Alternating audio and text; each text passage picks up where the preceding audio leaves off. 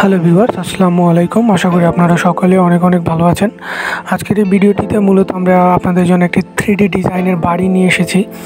তো আজকের এই ভিডিওতে আপনারা মূলত যে সকল বিষয় সম্পর্কে জানতে পারবেন সেগুলো হচ্ছে এমন একটা বাড়ি, এমন একটা ডিজাইনের বাড়ি যদি আপনারা বাস্তবে তৈরি করতে চান, সেক্ষেত্রে আপনাদের খরচ কত পড়বে, কতটুকু জমি হলে আপনারা মূলত এমন একটি ডিজাইনের বাড়ি তৈরি করতে পারবেন, এবং বাড়িটির মধ্যে আপনারা মূলত কয়টি রুম পাবেন, এবং রুমের সাইজগুলো কত ফিট বাই কত ফিট ইত্যাদি বিষয় সম্পর্কে।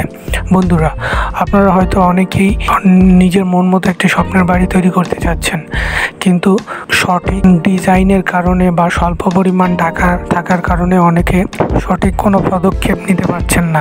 যে কী ধরনের বাড়ি, কীভাবে বাড়ি তৈরি করলে আপনারা স্বল্প পরিমাণ টাকা দিয়ে এমন একটি বাড়ি তৈরি করতে পারবেন, কম খরচে একটি বাড়ি তৈরি করতে পারবেন, তো চিন্তার কোনো কারণে বন্ধুরা। আমি আপনাদের জন্য নিয়ে এসেছি মাত্র চার লাখ টাকা সুন্দর একটি বাড়ির ডিজাইন। সুতরাং বন্ধুরা, চলুন কথা না বাড়িয়ে, এরপর আমরা শুরু করি মূল ভিডিও। প্রথমে যদি আপনি একটু আপনাদের বাড়ির সামনের দিকটা দেখাই, তাহলে আপনারা একটু খেয়াল করবেন। এটা হচ্ছে বাড়িতে প্রবেশ করার মেইন ডোর বাড়ির দুই পাশে দুইটা সামনের জানালা রয়েছে এবং আমরা যদি বাড়িটার ডান পাশে যাই তাহলে একটু খেয়াল করবেন। বাড়ির ডান পাশে একটি পিছনের সাইডে জানালা রয়েছে এবং পিছনের সাইডে একটি জানালা রয়েছে এই পাশে। বা পাশে একটি জানালাও নাই সরি তার জন্য। বা পাশে কোনো জানালা নেই। তো সুতরাং আপনারা এখানে যদি একটু ভালোভাবে খেয়াল করেন ডিজাইনটা এই হচ্ছে বাড়ির সামনের ডিজাইন আপনারা একটু উপরটা খেয়াল করেন। দেখতেই পাচ্ছেন সামনের ডিজাইনটা কত সুন্দর এবং অসাধারণভাবে তৈরি করা হয়েছে। এবং আপনারা ছাদে ওঠার জন্য অবশ্যই এই স্পেসটি ব্যবহার করবেন। সুতরাং কথা না বাড়িয়ে চলুন, এবার আমরা চলে যাই একটু দেখাই যে আসলে বাড়িটার ভিতরটা মূলত কীভাবে ডিজাইন করা হয়েছে, সেই দিকটা যদি একটু খেয়াল করেন। এই জায়গাটা একটু খেয়াল করেন, এই হচ্ছে বাড়ির ভিতরের ডিজাইনটা। আপনারা এখান দিয়ে যখন প্রবেশ করবেন, সরাসরি চলে যাবেন বারান্দায়। এইখানে একটা জিনিস নোট করেন। আপনারা যদি চান, এইখানে একটা টয়লেট টয়লেট ব্যবহার করতে পারেন, তৈরি করতে পারবেন যে বারান্দায়। যে এক বাড়ির ভিতরে সব কিছু এইখানে মূলত এটা দুই বেডরুম বিশিষ্ট বাড়ি। এই- এইটা একটা বেডরুম এটা একটা বেডরুম এখানে আপনার একটু টয়লেট রাখবেন। চাইলে এখানে আপনার কিচেন হিসাবে এই জায়গাটা, এই স্পেসটা ব্যবহার করতে পারেন। এই জায়গাটা কিচেন হিসাবে ব্যবহার করবেন, এটা টয়লেট হিসাবে ব্যবহার করবেন। তাহলে আপনাদের সব কিছু এক রুমের মধ্যে পেয়ে যাবেন।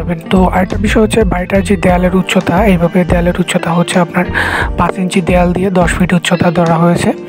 তো এই দেখতেই পাচ্ছেন বাড়িটার ভিতরটা কত সুন্দরভাবে ডিজাইন করা হয়েছে। বাড়ির মধ্যে আপনার খাট ওয়ার্ড্রপ বসার জন্য সোফা, টিভি, সেট ইত্যাদি বাড়িটির সুন্দরভাবে ডিজাইন করা হয়েছে অসাধারণভাবে। আপনারা যদি চান বাড়িটার ভিতরে হেঁটে হেঁটে একটু দেখতে, সেটাও আমি আপনাদেরকে দেখাতে পারব, তার জন্য কোনো সমস্যা নেই। এই হচ্ছে বাড়িটার বর্তমানের ভিতরের অবস্থা।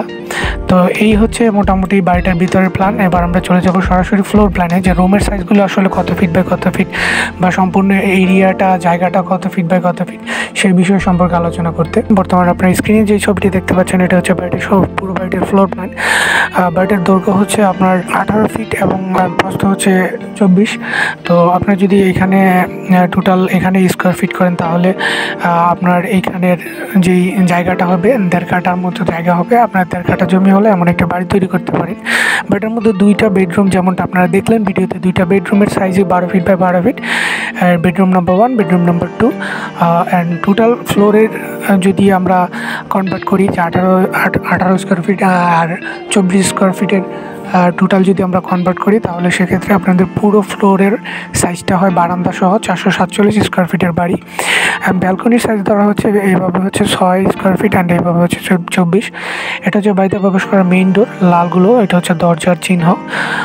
দুই পাশে দুইটা দরজা, এই দেখতেই পাচ্ছেন ফ্লোর প্ল্যানটা কত সুন্দরভাবে করা হচ্ছে আপনারা যদি চান, এইখানের এই স্পেসটা কিচেন হিসেবে ব্যবহার করবেন and এই পাশের এইখানে একটা টয়লেটও ব্যবহার তৈরি করতে পারবেন।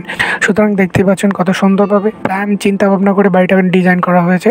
তো এরপর পর্যায়ে আমরা সরাসরি চলে যাব, এমন একটা ডিজাইনের বাড়ি যদি আপনারা বাস্তবে তৈরি করতে চান, সেই ক্ষেত্রে আপনাদের খরচ কত পড়বে? বর্তমানে আপনারা স্ক্রিনে যে বাড়িটা দেখতে পাচ্ছেন, এমন একটা ডিজাইনে যদি আপনার বাড়ি বাস্তবে তৈরি করতে চান, সেক্ষেত্রে আপনাদের খরচ কত পড়বে, সেই বিষয়টা এখন আপনাদেরকে জানাব। খরচের জন্য যে বিষয়গুলো আপনারা খেয়াল করবেন, আপনাদের জন্য সুবিধার্থে আমি প্রথমে একটি লিস্ট তৈরি করে রেখেছি। এই বাড়িটি তৈরি করতে আপনাদের যে সকল মালামাল রাখবে, মালামালের একটি সম্পূর্ণ লিস্ট আপনারা প্রথমে স্ক্রিনে দেখতে পাচ্ছেন। বাড়িটি বাড়িতে তবে মাটি কাটার খরচ ধরা হয়েছে তিন হাজার। আর দেয়ালে ইট যে লাগবে দশ ইঞ্চি উচ্চতায়, পাঁচ ইঞ্চি গাঁথনি ব্যবহার করা হয়েছে। পাঁচ ইঞ্চি গাঁথনি দিয়ে দশ ইঞ্চি উচ্চতায় যে ইট দিবেন, সেখানে আপনাদের দশ হাজার তিনশো আটষট্টিটি ইট লাগবে। তো আট টাকা করে যদি ইটের দাম ধরি, সেক্ষেত্রে বিরাশি হাজার নয়শো চল্লিশ টাকা। এবং ফ্লোর বা ছাদের খোয়ার জন্য আরও এক্সট্রা পাঁচ হাজার ইটের প্রয়োজন পড়বে। সেক্ষেত্রে আপনাদের আট টাকা করে চল্লিশ হাজার টাকা দাম আসে। রড লাগবে সাতশো কেজি।